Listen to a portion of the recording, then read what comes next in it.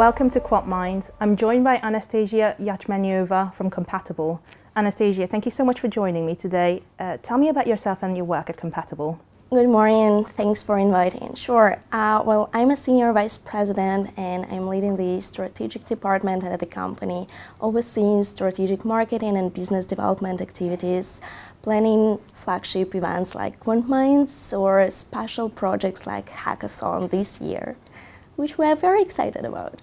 So tell me more about the hackathon. So we will be focused on large language models um, uh, on the day. So can you tell me more about large language models and what they are and how they differ, for example, from natural language processing, which we've already seen in the quant space?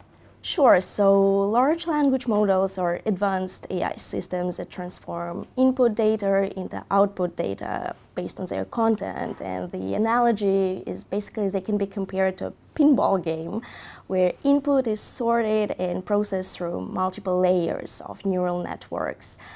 The early goals of developing these models were very modest when we were just starting from completing a single sentence, for example, for an email.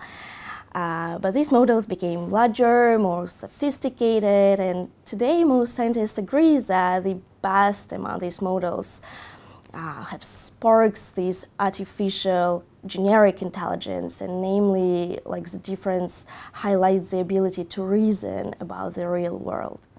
Wonderful. So from small to large, we, we went from, from zero to, to everything. Exactly, really. like the, the name of the model says.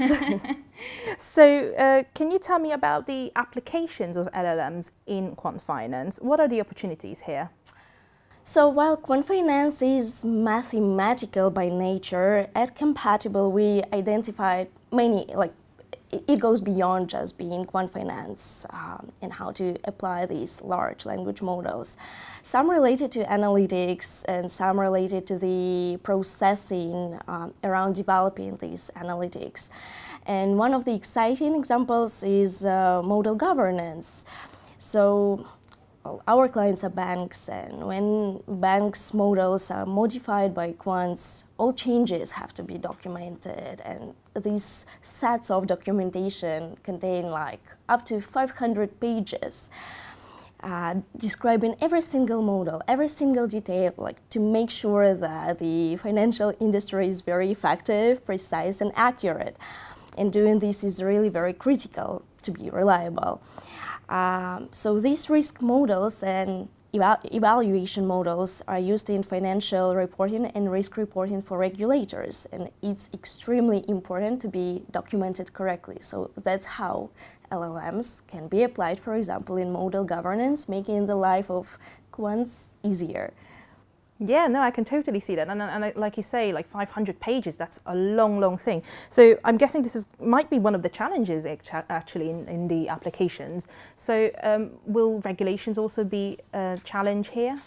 Most importantly, we see the partnership opportunities here. For example, between OpenAI and Microsoft Azure, who make the GPT models available within the bank's Azure cloud. And Microsoft will guarantee that OpenAI models will run will run in the bank's Azure account and completely isolated from any other Azure cloud or, or even from OpenAI. And in this case, the data becomes subject to some protections as any other data in the bank's Azure cloud. And it's subject to some privacy guarantees, so it's never used for training, for example. It's never like accessed by anyone outside the bank.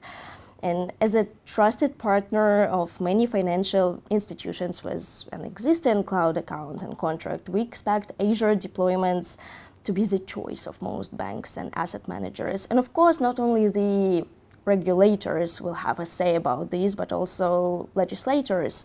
And the use of AI in the European Union, for example, will be regulated by the AI Act, the world's first comprehensive AI law.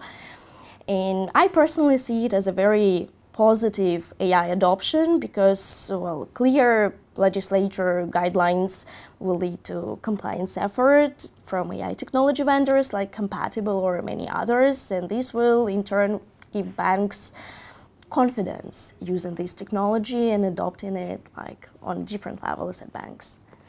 Wonderful. So, um, as, uh, as, you suggested, this goes way beyond the finance uh, financial sector, uh, whether that's banks or re uh, regulators. Uh, how do you see us working together to overcome the challenges here?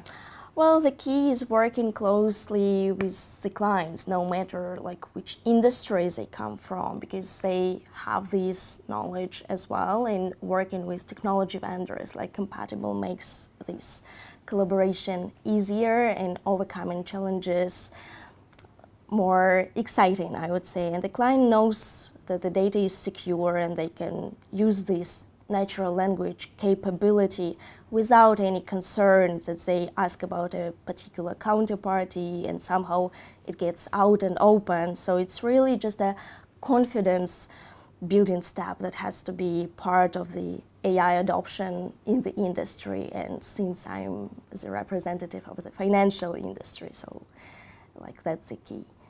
Wonderful. So let's talk about the hackathon. Uh, what are you hoping to see from the winning team?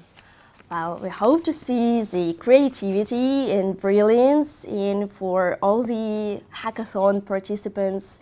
We want to create something really wonderful, unexpected, and perhaps leading to some future QuantMinds topics and presentations like next year or in two years.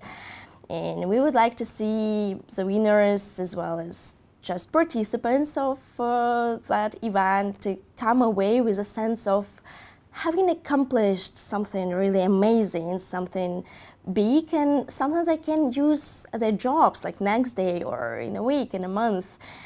And I also believe it's very important for the hackathon to include not only conference participants that, can code in Python, uh, but also anyone who would like to participate and like uh, we are designing the hackathon in such a way so both groups of participants can participate.